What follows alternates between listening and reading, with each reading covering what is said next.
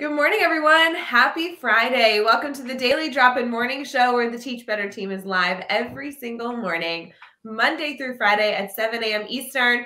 We are currently streaming on Facebook, YouTube, Twitter, Twitch, and LinkedIn. Woof! And also, good morning, good afternoon, or whatever makes the most sense to you. If you are tuning in on the Teach Better Talk podcast, listening during a different part of your day, we really appreciate you being here. We want to wish you a wonderful Friday. So we hope you go fill up your coffee cup as we get into the daily drop in fun, where we actually also get to highlight a fun course that came out this week. So we'll be right back.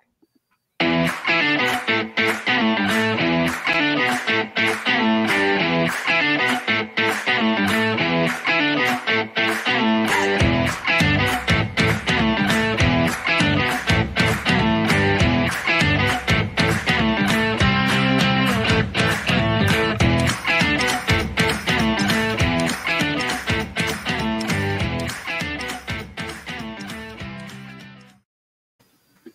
morning, everyone. Happy Friday. Brad Hughes is in the house. Brad, how you doing? Hey, good morning, Rae. This is a great house to come into every Friday morning. I'm doing well. Uh, excited to connect with you and our audience for daily drop in.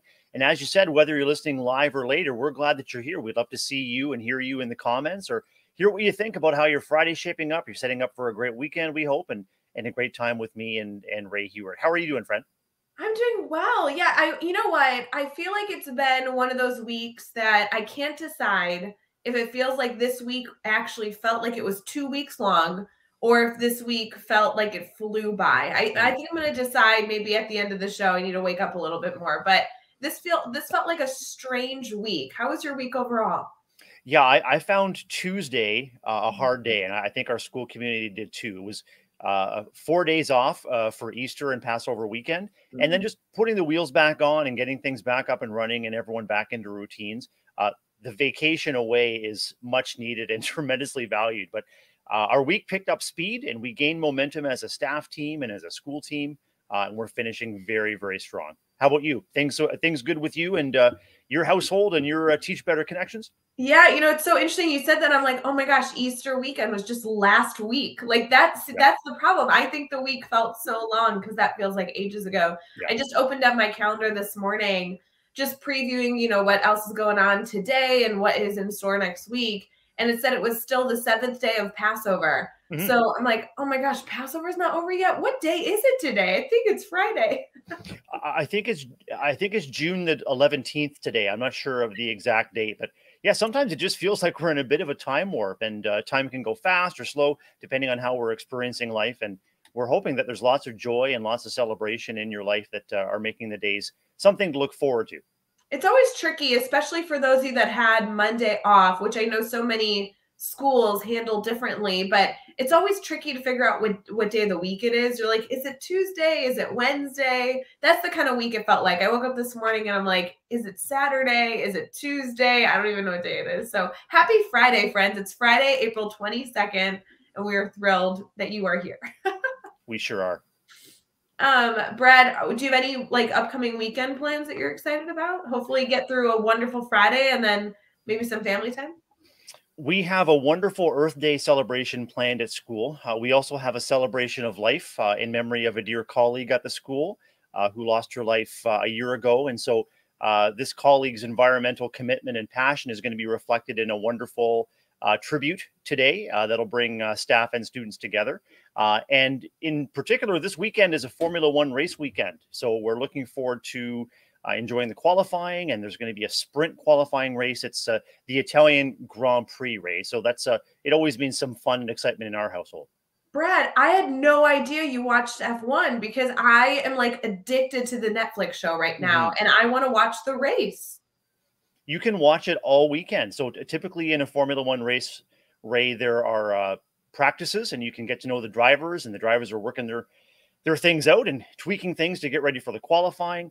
Uh, the qualifying will set the race order. And in this race, Rae, in uh, the Italian Grand Prix, they have what's called a sprint race. So uh, the qualifying is for the position in a short, quick sprint race uh, tomorrow, which will determine the starting positions for the Grand Prix race on Sunday morning. So this would be a great weekend to tune in uh, if you're a Formula One fan or looking forward to getting to know the drivers or the teams or how this stuff works. It's it's really really entertaining, and I find the commentary really engaging too. Love the personalities, love the technology, and it's it's a bit like a soap opera soap opera on wheels. I have to tell you, Brad, I am so thrilled to hear you say this. I'm going to pick your brain like crazy as we get into this because the Netflix show, for those of you who like are looking for a new show to watch, the the Netflix show on F1 is so interesting. I love learning the backstory. It is a little bit of a there's some drama, but oh, like I, I really feel like you get to know the inner workings of some of the most fascinating parts, uh, even just like the mechanical elements of it. Mm-hmm. Do, you have a, do you have a team you, you're rooting for?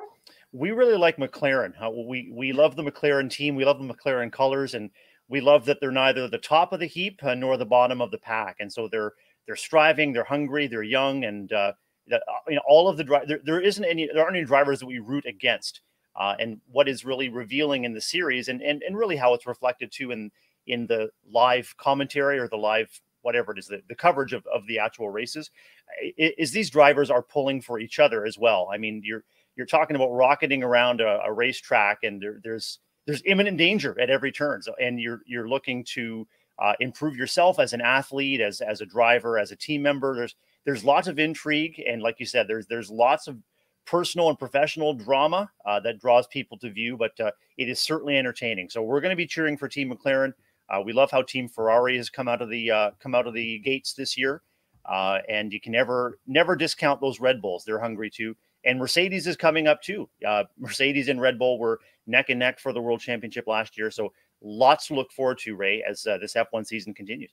I think it's so fascinating. I'm so excited to add this to the list of things I need to pick your brain about. I have no idea you're interested in this, and this is a new discovery I feel like I've had over the last few weeks. So, if any of you are looking for a little bit of a new hobby, a new challenge, I feel like there's so many things to learn about with F1. So, I'm a huge fan. Good morning to everybody in the comments. A special shout out I got to give to Adam. Uh, Adam is in Atlanta getting some professional development at the Ron Clark Academy uh, and we really appreciate you being over there, being a learner, and also saying hi to our friends. We are we are big uh, Kim Bearden fans here in the Teach Better family. So she's been wonderful to us and has done a lot of you know PD with our team. So uh, shout out to that crew over there. Something I really admire about Adam too is I can't help but think that as he uh, is preparing for a new administrative role, uh, he is digging deeply into this professional learning in Atlanta with intention. And Adam, we want to wish you the very best uh, in your new endeavors and your new digs, your new school, your new sc- school community is very, very fortunate to have you. And uh, we wish you a wonderful time of learning and energizing, and you'll take that energy and commitment right back to your school community. I'm sure of it. I love it. We love also Rachel's been in the comments. Good morning, Dan, listening in from the UK. And then we have our one and only Brienne Fennel. I'm so excited. Hey, Brie, good to see you. We always count on Brie for the green hearts. We appreciate that, Brie. Yeah, she's actually Brad. She's running our. We have an internal meeting tonight or an mm-hmm. internal mm-hmm. hangout tonight, and Bree's taking the lead. I love seeing Bree step up for leadership roles, and she's just such a wonderful educator that brings such a beautiful lens to everything she works on. So so excited for her. She sure does. There, there are incredible people working within our team and within every school that the Teach Better team uh, encounters or touches. And this is what really brings me so much joy is connecting with heart led people, doing strong work, learning through practice, and, and really just striving to be a little bit better every day. This is what it's all about. I love it. Brad, speaking of internal team, you had a big week this week internally on the team because you released your first course in our Teach Better Academy. And I'm going to say I sure did. And I want to I want to be clear. We sure did, Rae. It was your partnership uh, and your um, your vision that guided me through this course creation process. Uh, start now to finish better, intentional shifts to end the year strong. So I'm really privileged to be a course creator, a course co-creator now, and a, a course developer. And I look forward to building on this strong foundation. And, and I hope that uh, folks consider checking out our course, especially as we look forward to the last four to six to eight weeks of the school year. It's it's always an opportune time to reflect on where you've been and set some intentions to stay grounded. And one of the real great takeaways I loved from our course, Rae, which I think we just we just found our way. It's funny we found our way to this was this idea of course correction. So we, we all have a direction we all have a path that we envision towards the end of the school year. And I think where we where we landed was this idea of small shifts. And I think you said just like puffs of air, like puffs of air, like a like a lunar lander might make tiny course corrections. That was a real cool moment that we kind of discovered as we were creating it. And uh, anyway, very excited to confirm that that course is available in the Teach Better Academy. And again, Rae, uh, very grateful to you for the opportunity. No, I'm so thrilled. We've already had some people take the course. We've already gotten some emails with questions and commentary on the experience of making those small adaptations to end the year strong. And I'm really excited to hear everyone's thoughts. If you're interested in exploring it further, it is over at teachbetteracademy.com. If you can sign into our academy, even if you're not a member, you there's so many free courses there. So um, whether you choose to be a member by paying nine dollars a month, kind of like Netflix, or you choose to um, just be a learner through the free courses, we really love being able to just put some great content there to dive into some topics and Brad, I think this course was just such wonderful timing to give us a little boost of energy, a little boost of perspective as we end the year strong. I love the I love the four pillars we're able to highlight. So I'm just excited for people to take those into consideration. Me too. And I love that we hope that there's learning that's not just applicable to the end of the year, but foundational in our approach to education, specifically around the idea of energy management. Mm-hmm. All of the things that we're facing and all of the things that we're trying to navigate both planned events and unplanned spontaneous things that just have to be taken care of it all demands energy. And so if we face any system or face any process that is likely to result in change or stress uh, the necessary ability for us to shift our energies to make sure that things are in balance i really hope that this learning is foundational for everyone in all aspects of educational and also personal life. You know being intentional about being aware of energy management uh, and just being aware that when your energy is being depleted, when energy is low and stress is high, it's time to just pause and take a rethink and maybe maybe rally others to the cause so you can distribute the workload. So lots of learning there, right? Yeah, so I have two things I want to note. One is I really appreciate that we decided to do this course from both a teacher and administrator perspective. So, regardless of who you are in the school ecosystem, I really do feel like we intentionally tried to ensure that you are able to take this information and apply it to whatever role that you have. So, as you're thinking through if this course might be a good fit for you, trust me, if you are in education, it will apply to your skills, whether you are uh, a teacher's assistant in the classroom full time, a coach, an administrator, kind of everything in between. The other thing I want to ask Brad specifically to you is this was your first course experience and you are so involved in the Teach Better team and a lot of different areas of our crew. But being involved in the academy was new for you. What was the experience like? First off, being being asked to kind of create your own course in the academy, developing your idea, but then you had to film it, putting it into action, and then I mean, gosh, it kind of like all came together. And how what was that like for you? Oh, it was exciting. Uh, it was a, a, really pleasant roller coaster, and I had a fantastic guide on the side, Rae Hughart. So, uh, Rae expertly guided me through the whole process of creation.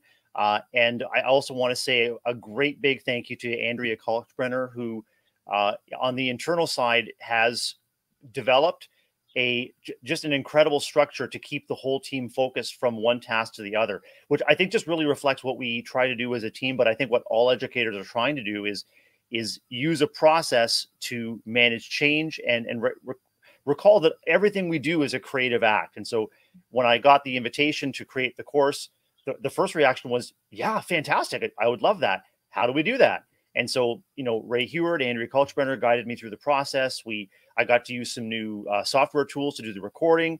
Um, the other thing that was awesome, Rae, was was sort of the creative workarounds that we found because as we were uh, uh, as we were recording the components together at a distance, uh, we had to do some creative problem solving around how to make that work and effective. And then huge thanks again to Jeff Gargas, who took all of our video uh, and wove it together into a beautiful and seamless uh, series of episodes. So it was an awesome learning opportunity for me. And now, thanks to everybody's support through the team, I've got the foundation to continue to grow as a as a course developer and presenter, and look forward to the next one.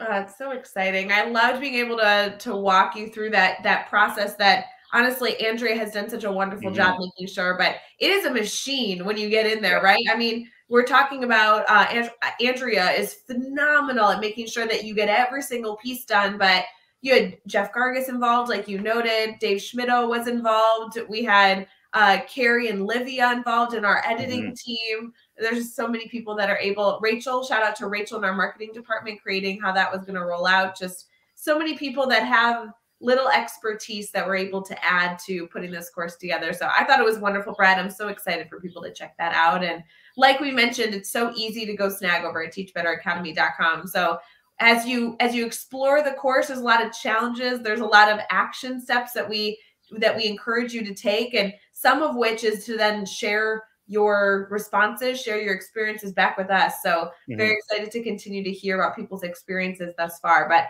I just really appreciate you, Brad. I'm so excited that we were able to get this out this week. I truly appreciate that. It really does reflect the power of team, like everyone working in their own way uh, to leverage expertise to make something that's going to be inviting and appealing and, and value added. And it also reminds me of, you know, a leadership, just sort of a leadership maxim is eh, change requires pressure plus support, positive pressure. So the internal accountability process that Andrea manages to keep everyone on track, but it's it's all the support. It's it's it, it, there. It's constantly. Can I help with this? Do you need any advice? Like, just shoot me a message or a met. Like, it's it's incredible. So the pressure plus support to make things happen is truly remarkable. So, do you think an element of this course creation maybe can go into our moment of gratitude this morning? Oh, 100%. All right. What are we thinking, Brad? I'm going to document this moment of gratitude. We like to do this every single morning on the show yeah. using a Happy Feed app, which I know so many of you obviously know that we do every single morning. What are we thinking for our moment of gratitude? Well, uh, I've it's easy for me uh, to reflect on the power of team, uh, and this is what I've been reflecting on as uh, our school team at Alpine Public School continues to navigate the week, and also reflecting on the course creation uh, it's the power of team. It's the power of working together to make good things happen and to rally around each other uh, when there are setbacks or snags, uh, and just finding laughter and finding the opportunities for fun along the way. I, I, I, found all of them in my school community this week, as well as through the course creation process. Right? Mm, so good. We'll be right back with some good news and some holidays.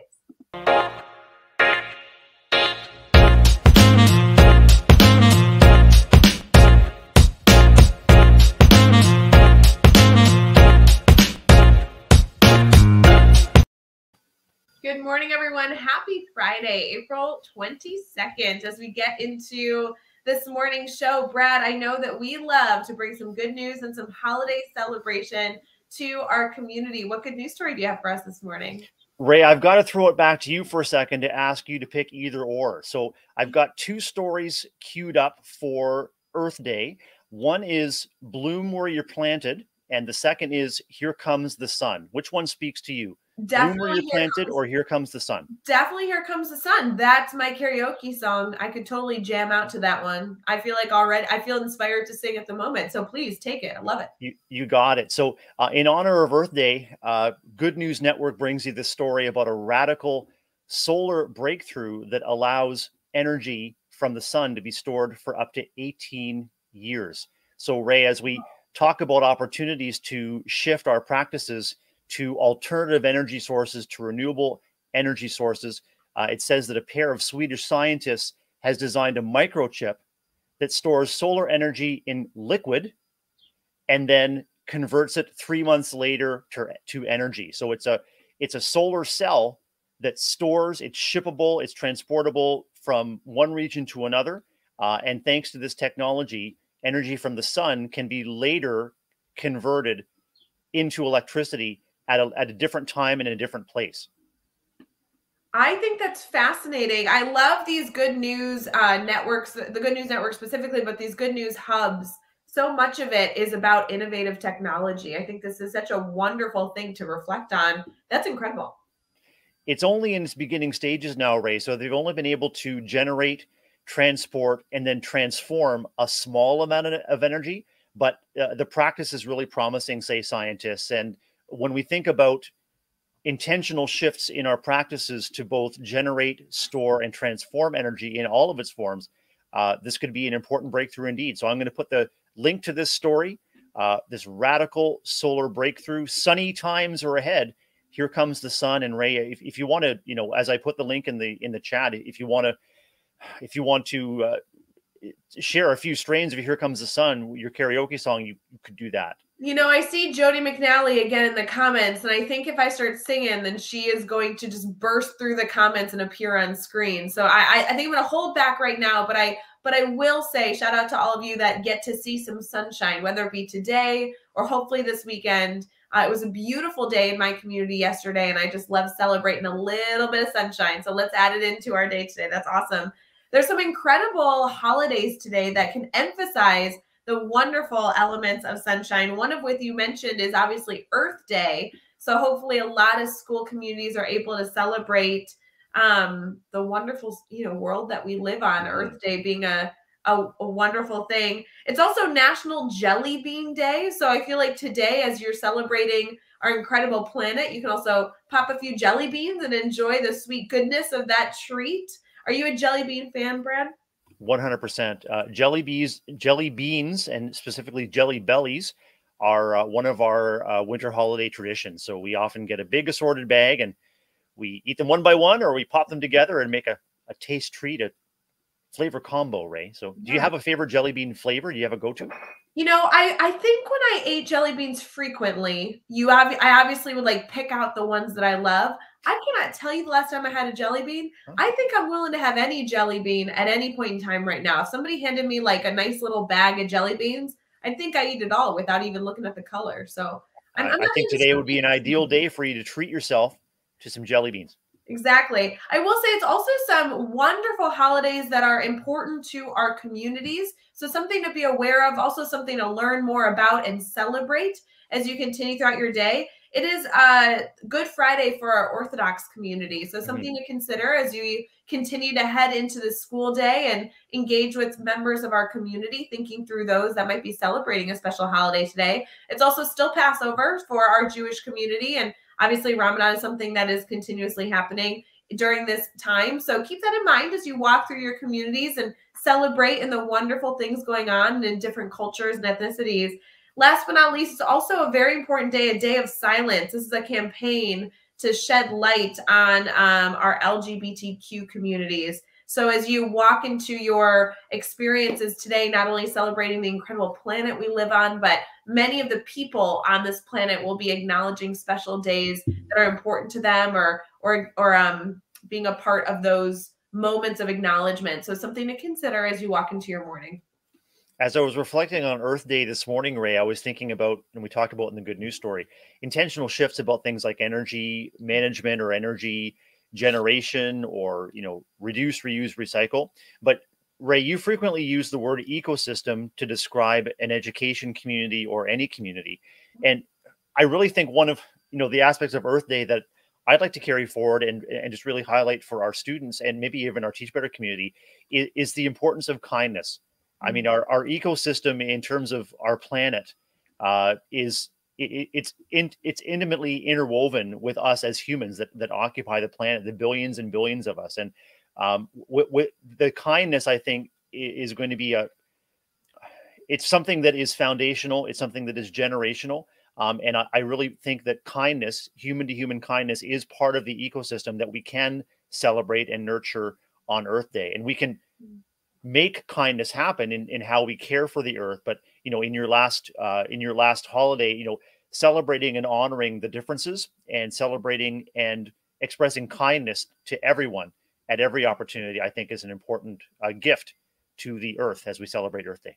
Mm, wonderful reminder. I could not agree more. Such a wonderful way to enter into a friday as well striving to be a little more kind today than maybe you chose to be mm-hmm. yesterday and putting that wonderful good energy into the world.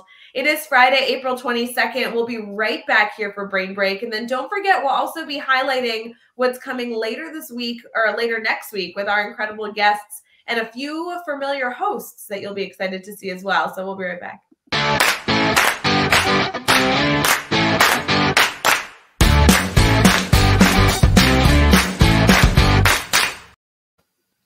Right, friends, it's brainstorm bank time. This is where we get to take a moment and ask anyone who is live with us or has direct messaged us personally to ask if you need anything. We really want to be here to be a brainstorm partner with you.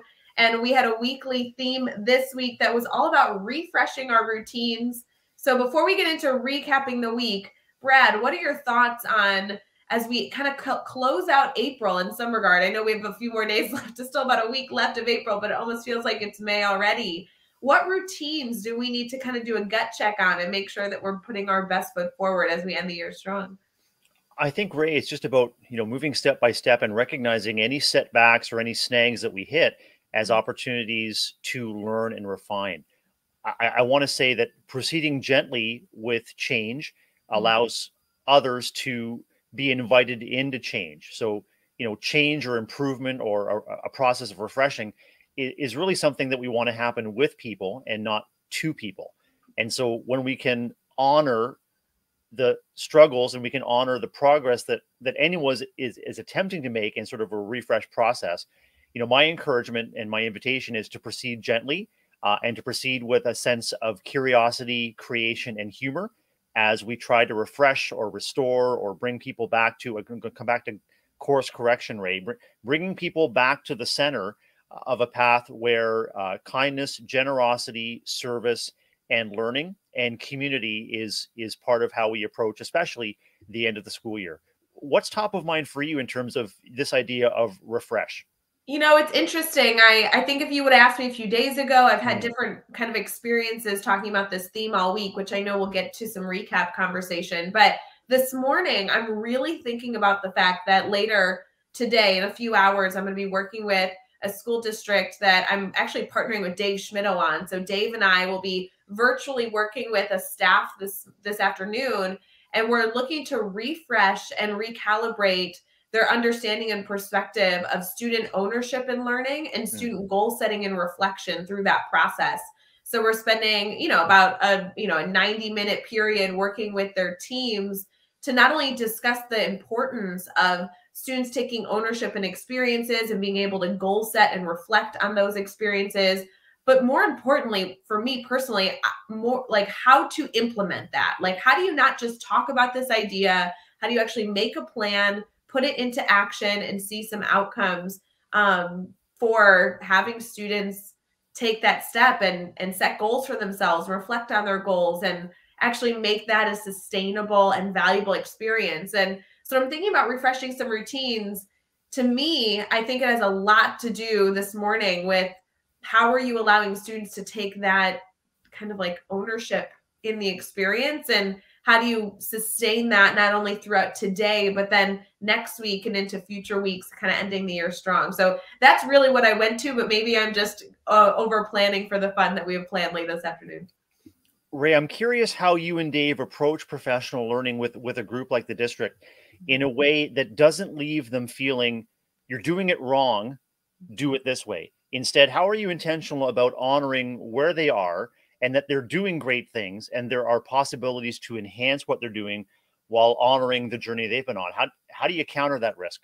Yeah, you know, I think it's so important to to understand that anytime we work with any teacher, whether it be a quick Zoom call, just talking shop or a formal training kind of like we're doing today, we we intentionally named ourselves the teach better team it doesn't mean that you need to teach perfectly it doesn't mean that what you're doing right now is done is not done well we just always strive to be a little bit better than we you know every single day and so um, with this staff specifically i know the principal's been in really wonderful discussion with dr dave schmittou and talking about the fact that he just wants to expose teachers to different avenues. And if it's the right fit, great. They'll run with that concept or idea. If it's not the right fit, then hopefully they'll get some good reflection and move on with their day moving forward. But, you know, today is really about some deep reflection. We're starting with a fun activity uh, that has to do with your power going out in the middle of July. And wow. if you only have, you know, one thing to grab, what is that? Why do you grab that one item? And um, kind of like little reflective moments about our personal choices that we make, and then trying to connect those choices to how we can offer some choice for our student body, not just in the work that they do, but in the way that they approach the work. So I think it'll be wonderful to kind of dive into the types of choices we can offer students, whether it be mm-hmm. content related or maybe even personality or characteristic related. And um, yeah, I'm, I'm excited to get some activity and discussion because for me, it's not necessarily about hoping at the end every single teacher walks away and says, you know, for the last five minutes of class from now on, all of my students will goal set and reflect. But more so, at the end of the day, is there an opportunity for a teacher to say, yeah, I think I'm a little bit better, gaining a little bit more perspective on this topic. And what I choose to do with that is only going to be because it's the best fit for me and my kiddos. So I'm excited to work with this crew. I, I'm so excited too. And, and that approach, better and better together, is key. Uh, I think when there's important work to be done, uh, whether it's within a school building or a classroom or a district, uh, the mm-hmm. risk the risk for the audience receiving the advice or support is always eh, the, the risk is that something needs to change and it needs to change now. And certainly there are aspects of uh, of lots of community life and school life where that urgency is necessary and required. But let's go back to pressure plus support. And it sounds like you're looking to forward to digging in and meeting that district exactly where they are and helping those participants, you know, picture in their minds maybe even the one child, the one student that this learning is going to make a difference for. Uh, and we think about universal design. If it's if it's essential for that student, it's most likely good for everybody. So I wish you and Dr. Dave the very best. But that sounds really exciting. No, it should be great. And I mean, with routine specifically, the way that we're presenting this content is through a lens of incorporating it into your daily routine. Mm-hmm. It'll be a really great fit. But I think there's an element of professional development we miss sometimes. It's not always about the content being implemented, right? Like professional development is not always about here's the topic, please work with this topic, incorporate this topic, and it will make you a better teacher. Sometimes it's the process, right? Even mm-hmm. if you don't necessarily implement the topic, the process of reflecting on the topic or the process of engaging with your peers through that topic can always make us better. So this group specifically is going to be meeting in their grade level groups when we when we get to work with them and our hope is to just get those grade level groups talking, engaging, mm-hmm. reflecting with each other, making some funny choices together as we throw some random activities at them. And, you know, professional development should be fun. So even if they walk away just in a little bit brighter of a mood on a Friday afternoon, getting some professional development, thinking differently about how they might choose to engage with one another, much less their students, I think that's a win. Reminds me of what Chad Ostrowski uh, talks about as a, a, million conversations about nothing. Yep. So, you know, the, the ecosystem of professional learning or of any school community is built on relationships. And so you're, you're, you're building those opportunities for routine communication and coming together to be fun, regular, supported, intentional. And you're right, right. It all, all begins with those relationships. So if that district leaves your learning today a little bit more connected uh, maybe that's exactly what is is needed and is optimal at this time for them as they continue their learning journey. Love that. Love it. I think we should recap the week though, because there was a lot of routine suggestions that we were able to bring in with our guests, and then we can also preview what's coming next week. Does that sound good? Sounds great. You know, this is my favorite song, friends. This, this is the moment.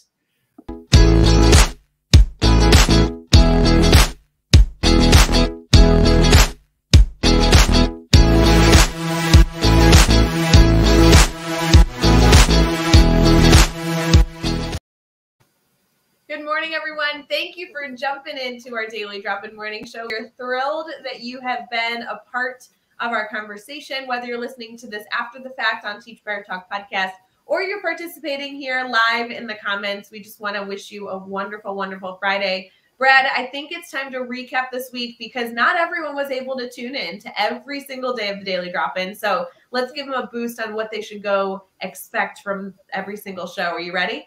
ready to go. It's like the Reader's Digest of the Daily Drop In. Just just uh, clear, concise, wrapping it up the week. It's uh, let's dig into it. So no surprise to anybody here that Monday was full of shenanigans with Jeff Gargas.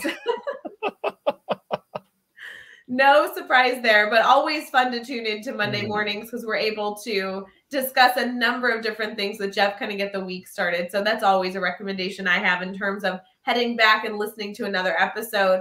On Tuesday, though, we were joined by a incredible educator, maybe one of my top 10 favorite educators, to be honest, mm-hmm. which I know I say, and I'm going to get scolded in, in, in the DMs with our friends here. But Thomas C. Murray was able to join us Tuesday morning.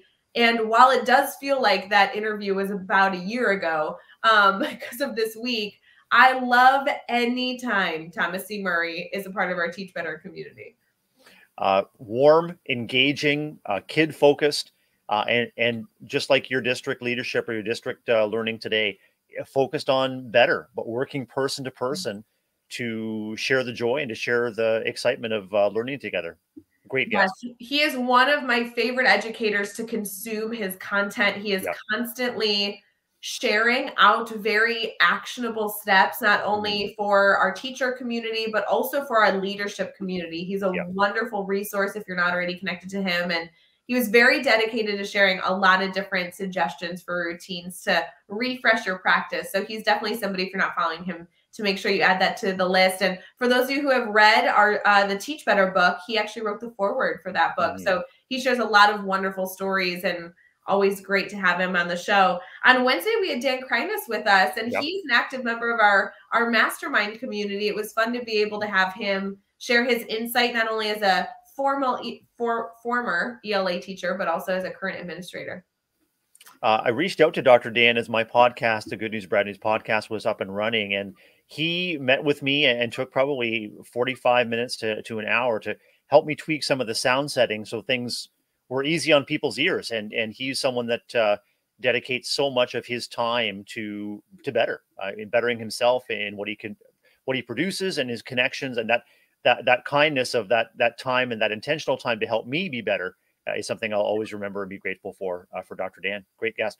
Maria was on the show on mm-hmm. Thursday, and I have to tell you, Brad, we had a ball. Like yep. there were so many different elements of our discussion that I would love to highlight, but Maria is an incredible educator that was on spring break and choosing to, to uh, tune in for the show. She not only shared so much insight from her leadership role, but really wonderful perspectives on how to start your day. And to be honest, um, one of our major takeaways, I've gotten a lot of messages about it from our community here, was her suggestion on thinking through every situation, good or bad, as a resume builder, trying to gain that perspective of celebrating the opportunities that we have, good or bad, to understand that they develop us better as educators. So wonderful to interview Maria. It was a it was an incredible highlight of my week and uh, definitely somebody to also connect with in uh, multiple different social media platforms. So lots to celebrate. Uh, philosopher uh, Pema Chodron uh, reminds us, and I've got this quotation on my office, just to paraphrase that difficulty will transform us. Uh, just we just have to be not afraid of running away from it. So mm-hmm. if, if we're willing to engage with difficulty, uh, it's transformative, but it can be painful. It can be frustrating. It can evoke fear. And you know, as Maria, you know, reminded us, you know, working through those positives and also those setbacks uh, were changed through the experience. And I, have come to know Maria as a very, very strong, dedicated school leader, uh, mastermind mentor, and just uh, a very giving uh, educator. So I'm glad that you had the opportunity to dig in with her on Thursday. So good. Next week is going to be a little bit of a strange week on the show. So I want to give you a little heads up. I actually think it's going to be a phenomenal week, and I'll be tuning in just like all of you in the comments every single morning. We not only will start obviously our Monday morning with Jeff Gargas and I kicking off the conversation, but then Dave Schmittou is taking lead almost all week long. Yeah. And we have some incredible guests that Dave will be interviewing and getting to have some um, you know support and, and conversation with. First off, on Tuesday, Eric Youngman is joining our show. Eric is an incredible school leader in our Illinois uh, area. And I say, I apologize, he's a district leader. I th- believe that he's the director of curriculum instruction or an assistant superintendent. He's over in Libertyville, but he again is a very active member in our mastermind community, always lending his perspective. And he's written a few books. So I think him and Dave are going to geek out a little bit on Tuesday. no doubt. On a Wednesday, uh, we have John uh, Alsh joining us also with Dr. Dave Schmittou. Mm-hmm. John is an incredible educator that we get to work with here with the Teach Better team. He works with one of our schools. He's an incredible teacher. He uses the grid method. There's going to be a lot to, to dive in for that as well. Mm-hmm. And then we have the one and only Dawn Harris is joining us, and Dave will be able to talk to Dawn uh, about all the things she has going on in her world, which – that will oh, be a that will be a show I will not miss. I can't wait to reconnect with Dawn. It's been it's been a minute. That's awesome. Ages, I know, and but you know that anything with Dawn is going to be wonderful. Yeah. And then you know, spoiler alert, Brad, you get to go live with the one and only Dave Schmittou on Friday. So I'm sad to not be here with you, but thrilled that Dave will be still in the show next week. Me too. Always a pleasure to partner with you, Rae, and with Dr. Dave Schmittou, oh, and we'll do our best to to live up to the the high standards of love, caring, and shenanigans that the Friday drop in has has come to mean. Rae, we'll do we'll do what we can. I I believe in you. Uh, in the meantime, if you need anything uh, from us, please let us know. I will be with Jeff Gargas and Katie Miglin next week in Palm Springs, working with the Barr Center. If you guys are not familiar with the Barr Center, uh, we definitely encourage you to go check out the incredible work being done there. We've had Hannah, their um, director of marketing, and Angela, their CEO and co-founder, are part of the Teach Better community for a while now. But BARR, it's an incredible nonprofit who is uh, having a conference next week, and they are very eager to highlight the work being done from the Teach Better community over with the Barr Center. So thrilled to be able to spend the week with them and their school districts with uh, the work that they're doing with SEL and support in our schools, social and emotional learning and uh, hopefully be able to layer on top some instructional practices and discussion with the Teach Better team in partnership. So if uh, if any of you are interested or in the Palm Springs area, we'd love to see you. Can we bring you in live for any of our daily drop-ins just for a burst of California? I think that might be really inspiring. You know, I think it might be too. Here's the only thing, Brad.